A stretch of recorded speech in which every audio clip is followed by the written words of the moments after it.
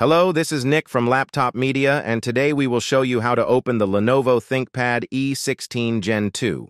To have a look at the internals of this business device, you have to undo seven captive Phillips head screws.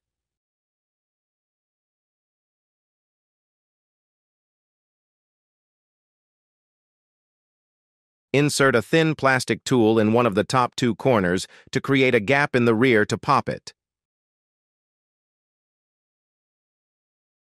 Then, pry the sides and the front.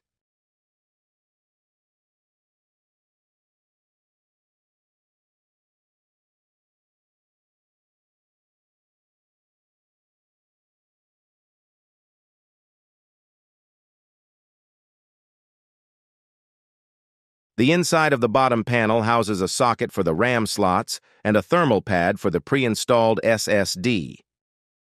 Our notebook is equipped with the optional 57 watt-hour battery.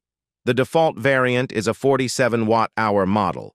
To remove it, unplug the connector from the main board and undo the three Phillips head screws that hold the battery in place. The capacity is enough for around 13 hours of video playback. To achieve that, you have to apply the best power efficiency preset in the Windows Power and Battery menu and set the scheme for battery to balanced mode in the BIOS.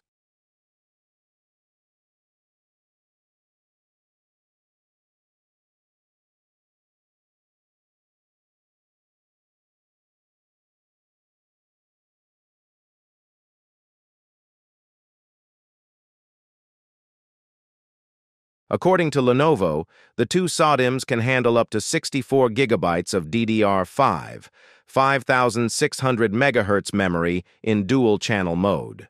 However, since the CPU can support up to 96 gigabytes, this laptop likely wouldn't have issues running a larger amount of memory than the official manufacturer's specified limit.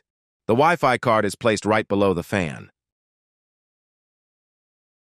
You get two Gen 4 M.2 slots for storage expansion, one for 2242 SSDs, and one for 2280 NVMe drives.